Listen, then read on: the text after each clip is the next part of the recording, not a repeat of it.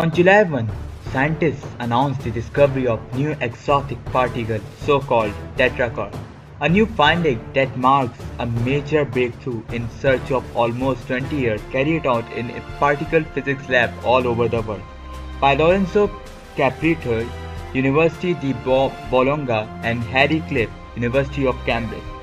The LHCb collaboration at CERN has announced the discovery of new exotic particles so-called tetraquark. The paper by more than 800 authors is yet to be evaluated by other scientists in a process called peer review, but has been presented at a seminar. It also meets the usual statistical threshold for claiming the discovery of a new particle. The finding marks a major breakthrough in search of almost 20 years carried out in particle physics labs all over the world. To understand what a tetraquark and why discovery is important, we need to step back in time to 1964 when a particle physics was in the mid of the revolution. Beatlemania had just exploded, the Vietnam War was raging, and two young radio astronomers in New Jersey had just discovered the strongest evidence ever for the Big Bang Theory. On the other side of the US at the California Institute of Technology and on the other side of Atlantic at CERN in Switzerland, two particle physicists were publishing two independent papers on the same subject. Both were about how to make sense of, of the enormous number of new particles that had been discovered over the past two decades. Many physicists struggle to accept that so many elementary particles could exist in the universe in what had become known as the particle zoo. Caltech George Zweig and Murray Gell-Mann from CERN had stuck upon the same solution. What if all these different particles were really made of smaller unknown building blocks in the same way that 100 odd elements in the periodic table are made of proton, neutron and electron? Zweig called the, these building blocks aces, while Gell-Mann chose the term that we still use today, quarks. We now know that there are six different kinds of quarks up, down, charm, strange, top, bottom. These particles also have respective antimatter companion with opposite charge, which can bind together according to simple rules based on symmetries. A particle made of quark and an antiquark is called a meson, while three quarks bound together form baryons. The familiar protons and neutrons that makes up atomic nucleus are example of baryons. This classification scheme beautifully described the particle zoo of 1960s. However, even in his original paper, Gell-Mann realized that other combination of quarks might be possible. For example, two quarks and two antiquarks might stick together to form a tetraquark, while four quarks and an antiquark could make a pentaquark. Fast forward to 2003 when the Pali experiment at the Keiki laboratory in Japan reported the observation of new meson called X3872 which showed the exotic properties quite different from ordinary mesons.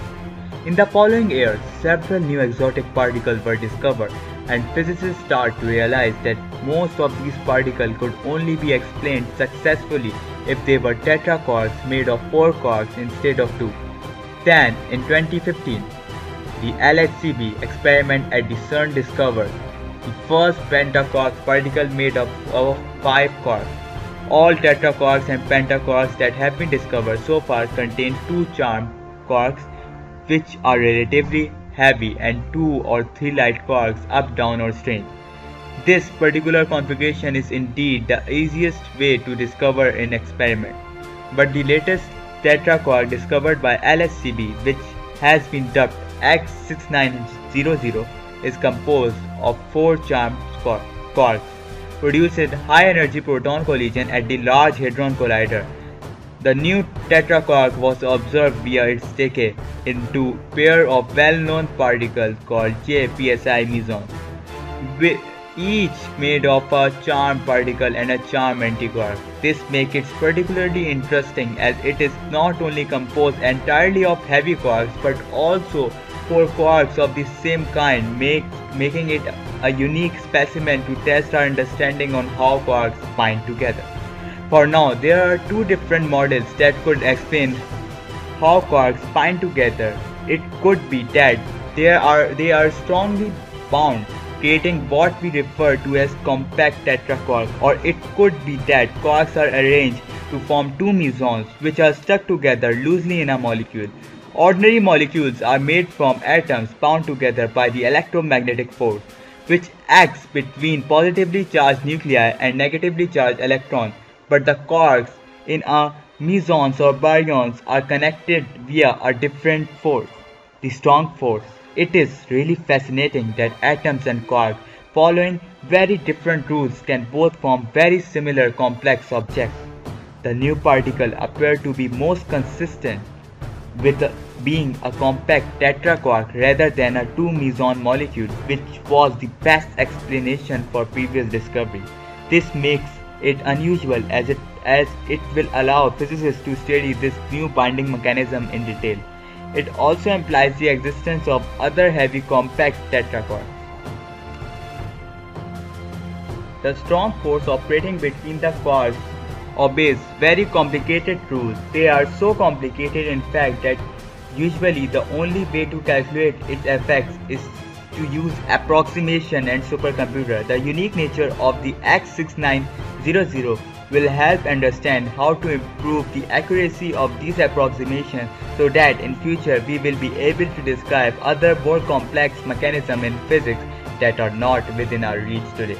Since the discovery of the X3872, the study of exotic particles has thrived with hundreds of theoretical and experimental physics physicists working together to shed some light on this exciting new field.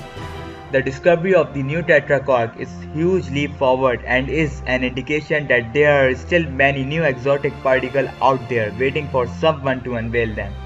Lawrence Lorenzo Capriotti, Research Fellow in Particle Physics, University di Bologna and Harry Cliff, Particle Physics, University of Cambridge.